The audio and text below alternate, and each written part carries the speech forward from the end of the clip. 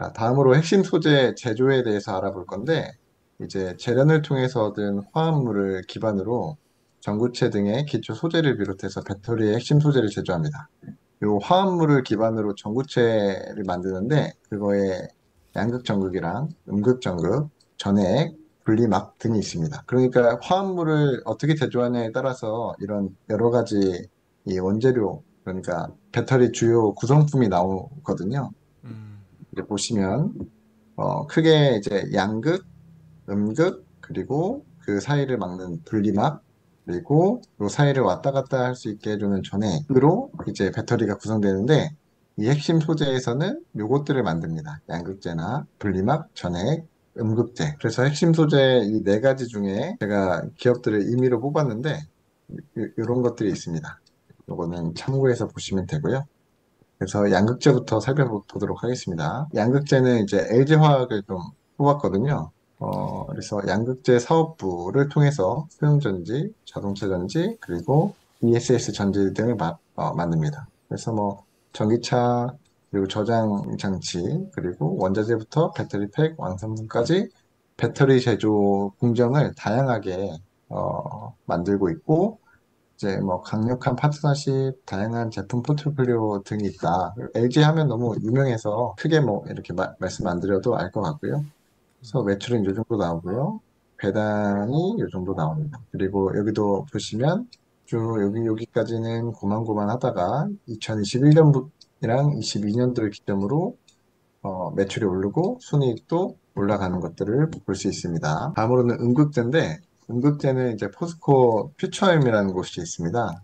여기 보면 음극재는 리튬을 저장했다가 방출하면서 이제 전류를 흐르게 하는 역할을 하는데 충전 속도랑 수명 등의 결정 을 짓는 중요한 핵심 소재입니다. 그래서 포스코 퓨처엠은 천연 흑연, 인조 흑연, 실리콘, 리튬 메탈 이 중에서도 리튬 메탈이 굉장히 중요한데 이게 전기차 전고체 배터리를 만드는 핵심 소재예요. 그래서 요거 요 정도는 알고 계셨으면 좋겠습니다. 그래서 이제 여기도 보시면 매출은 요 정도 나오고요. 그리고 배당금이 있는데 어, 낮더라고요.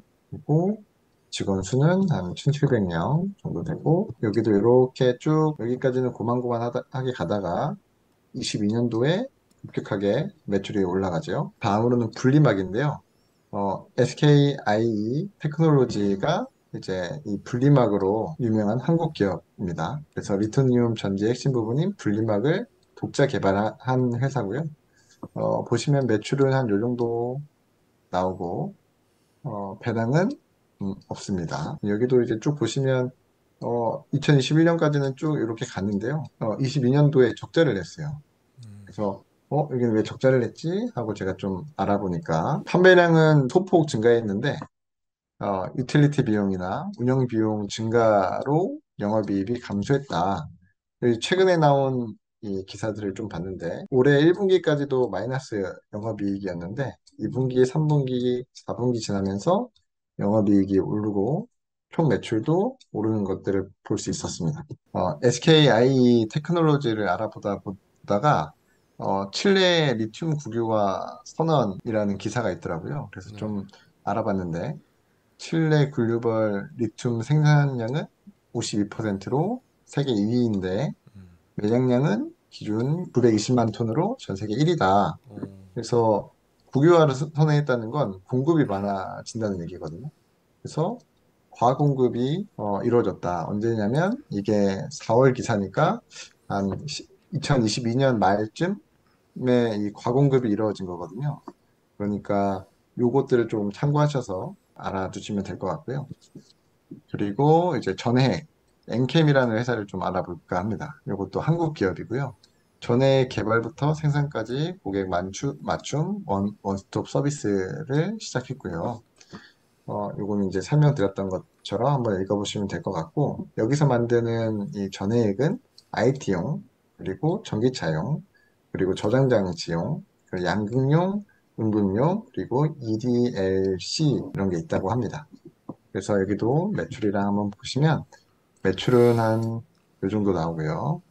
이제 주당 수, 순이익도 어, 마이너스가 됐어요. 배당금은 없습니다. 그래서 뭐 직원 한 700명 정도 그리고 공장은 4개 국가, 한국, 중국, 폴란드, 미국에서 이렇게 있고요. 손익계 산서를 보면 어, 여기도 마찬가지로 21년까지는 고만고만하게 매출이 있다가 22년도에 급격하게 어, 상승했습니다. 제가 이제 이렇게 계속 22년도를 강조했던 이유는 네.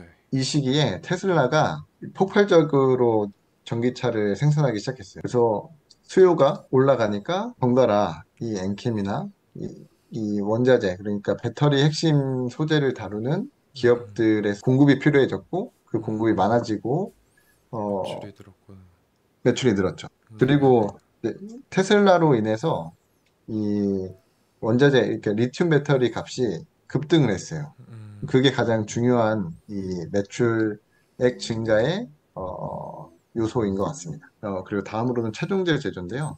최종재는 배터리 셀. 저희가 이제 화합물로 핵심 소재를 만들었잖아요. 네. 그 핵심 소재를 가지고 이 셀 안에다가 핵심 소재를 넣으면 그게 셀이 됩니다. 음, 그래서 이 셀을 모아서 어, 이 모듈 안에 넣으면 이, 이 큰 배터리 모 듈이 되는 거고요. 이 모듈을 또 모으면 팩이 됩니다. 예, 음, 되게 간단하면서도 어, 이 그런 거죠. 기업들이 원하는 모양으로 이렇게 셀, 모듈, 팩 이런 식으로 조합을 하거든요. 음, 그걸 알아두시면 되고 보시면 최종재 관련된 이 업체들을 좀 볼 건데 셀, 모듈, 팩을 만드는 데는 LG 솔루션 그리고 완성차 제조 이게 합작 음, 은 이렇게 있고요. 완성차 제조는 테슬라하고 폭스바겐이 하고 있다고 합니다. 그러니까 더 많은데 기업들이 더 많은데 제가 좀 줄여서 설명을 드리는 겁니다. 자, 셀 모듈 팩 LG 에너지 솔루션 관련해서 설명을 좀 드리겠습니다. 세계 최고의 배터리 기술력으로 혁신을 이어가는 회사고요. 어, 주력은 자동차 전지, 소형 전지, ESS 전지 이렇게 진행을 하, 고 있습니다. 어, 보시면 뭐 자동차 엔진의 EV, 하이브리드 뭐 등등이 있을 수 있고요. 자, 주가를 조금 보겠습니다. 총 시가는 이 정도 되고요. 그리고 어, 배당금은 없고 매출도 이 정도 하고요. 여기도 이제 여기는 만들어진 지 얼마 안 돼서 분기별로 좀 봤거든요. 음, 분기별로 보면 이제 2022년도인데요. 쭉 올라가다가 이제 거의 정체하고 있는 수준입니다. 매출도 꾸준히 상승하고 있는 것 같고요. 자, 이제 완성차 제조 합작인데 생각보다 합작 법인이 많았는데 어, 이런 게또 있었고 제가 좀 중요하게 봤던 건 LG 에너지 솔루션이랑 SK랑 한국 기업들이 많이 참여해서 자동차를 만드는 회사하고 조인을 많이 한 것 같아요. 그래서 어, 가장 많이 참여했던 회사가 LG 솔루션, 음. 에너지 솔루션이었고요. 그 다음이 SK온이었습니다. 이제 다음으로는 완성차 제조인데요. 네. 완성차 제조에서 이제 테슬라를 좀 살펴볼 건데 테슬라를 알아보기 전에 테슬라는 자동차 회사인가 아니면 에너지 회사인가라고 저한테 물어보신다면 저는 테슬라는 에너지 회사다라고 말씀을 드릴 수 있을 것 같아요. 테슬라가 처음 로고를 딱 보면 지속 가능한 에너지로의 전 세계 전환을 가속화합니다. 하면서 이제 에너지로의 전환을 위한 5단계를 발표를 했는데 36%는 기존 그리드에 재생 가능한 전력 공급이라는 걸로 어, 계획을 세웠고요. 그리고 전기차로의 전환, 그리고 열 펌프로의 전환, 이거는 태양열이겠죠. 그리고 14%는 이 태양열에서도 더 가서 고온 및 수소로 음, 대처하겠다. 그래서 이런 연료들을 이용해서 항공기나 선박 등을 운영하겠다라는 걸 밝혔는데 여기서 제가 좀 중요하게 봤던 건 지구 최대 오염원을 대체할 제품. 오염원은 저희 화학연료거든요. 음, 석유, 기름 이런 것들을 대체할 제품을 개발하고 있다. 그런 화학연료를 대체할 에너지를 찾고 있다. 만들고 있다. 그래서 저는 그 다시 알아보면서 테슬라가 굉장히 지속 가능하고 성장률이 높을 거라는 생각을 했습니다. 조금 더 보면 총 시가는 이 정도고요. 그리고 배당금은 없고 이 12만 명이 어, 어, 직원으로 있습니다. 굉장히 많은 양의 직원을 두고 있고 전기차 생산량 이제 원자재 저희 기초부터 쭉 봤는데 제가 늘 강조했던 게 수요와 공급이었습니다. 2021년부터 22년까지 보면 여기서부터 점점 두 배, 두 배씩 늘더니 어, 어마어마하게 늘었습니다. 다른 전기차 회사들에 비해서 어마무지한 양의 전기차를 생산, 생산했거든요. 제가 좀 영화로 좀 설명을 드리면 테슬라까지 오면 어, 테슬라가 클라이막스였던 것. 원자재랑 뭐 핵심 소재, IT 뭐 이런 것들은 2021년까지는 어, 공급이 많지 않았어요. 왜냐하면 뭐 컴퓨터나 뭐 노트북에 들어가는 전자 이 배터리가 많지는 않았거든요. 근데 전기차가 수요가 갑자기 많아지면서 배터리 지금 기존으로 기- 공급했던 배터리의 양으로는 감당이 안 되니까 더 많이 필요해졌고 많이 필요하다 보니까 수요가 수요가 많아졌는데 공급은 적어졌죠.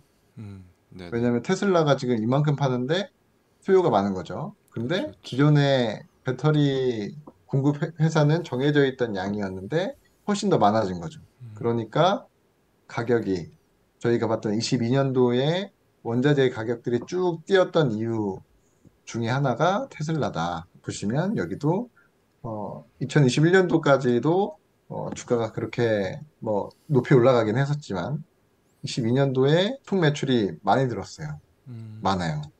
이 얘기는 테슬라가 이 원자재 값을 좀 이렇게 주도하고 있었다라고 음, 볼수 있고요. 다음으로 좀 살펴볼 거는 이제 폐기 재활용으로 갑니다. 예, 저희가 어, 좀 이렇게 설명을 드려도 될지 모르겠지만 영화로 좀 보면 이제 클라이막스가 좀 지고 이제 결론 부분으로 가, 는 거죠. 음, 폐기 재활용. 그래서 이제 뭐 재활용 가능한지 그리고 배터리를 이제 사용된 배- 완성된 배터리를 그러니까 기존 목적에서 폐 배터리를 다른 목적으로 재사용할 수 있는지 그리고 폐배터리 안에 있는 희귀금속을 추출하고자 하는 노력들이 지금 있고요. 어, 재활용 분야 대표 기업들이 이렇게 있습니다. 중국도 나섰고요. 한국, 유럽, 미국 보면 이제 에코프로가 어, 보, 보이시는데 제가 처음에 설명을 드렸던 습식 건식은 습식은 약물을 이용해서 추출하는 방식이고요.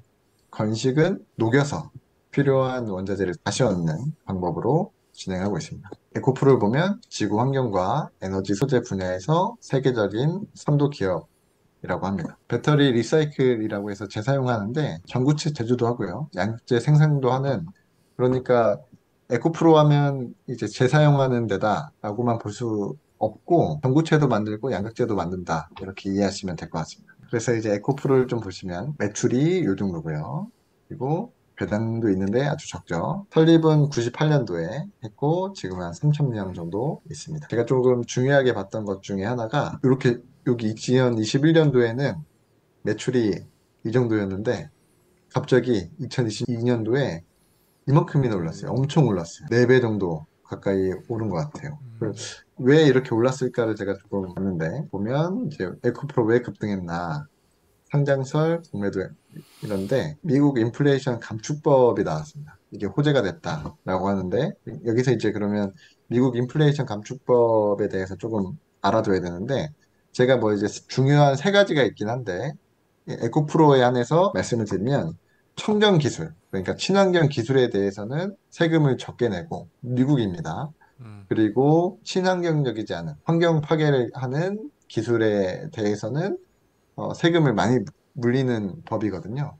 음, 그래서 에코프로는 완전 친환경적인 업체니까 세금이 덜 나오게 되- 됐고요. 그래서 음, 급등했다라는 기사를 봤고요. 전기차가 많아지고 나서 몇 년 지나니까 어 이거 폐배터리 어떻게 해야 되지?에 대한 사람들이나 기업들 이런 것들이 반영됐는데 때마침 미국 인플레이션 감축법도 생겨나고 그래서 그런 여러 가지 정황으로 이 매출이나 주가가 오른 게 아닌가 정리를 한번 해보겠습니다. 저희가 천연 자- 자원부터 채굴, 가공, 그리고 배터리 제조, 핵심 그 소재 제조까지 보고 다루고 사용부터 종료, 재사용, 음, 폐기까지 저희가 쭉 봤습니다. 제가 이제 아이온큐도 투- 투자하고 있고 이런데요. 어, 제가 이제 이것들을 준비하면서 느꼈던 건 아이온큐는 세상의 모든 어려운 문제들을 풀겠다 하면서 막 저 이 하늘 위에서 놀고 있거든요. 음, 그래서 좋은 실적을 내야 되고 또 어, 계속 발전해 나가야 되는 업체인데 어, 이런 원자재 관련된 기업들은 바위 같아요. 단단하게 이 바닥에서 크게 움직이지도 않고 그렇다고 많이 올라가지도 않지만 단단하게 그 자리를 지키면서 가는 구조인 것 같습니다. 그래서 매력을 개인적으로 느꼈고요. 지금까지 이렇게 여러 가지 기업들을 알아봤는데 제가 알아본 거는 이제 공급, 이 수요와 공급 차원에서 그거에 좀 포- 포인트를 맞춰서 알아봤고요. 그래서 매출과 자세하게 다루지 못한 부분들이 많이 있어요. 그래서 조금 어, 아쉽기도 하고 또 죄송스럽기도 한데 그래도 어, 참고하셔서 투자를 좀 하시면 좋지 않을까 이런 생각을 했습니다.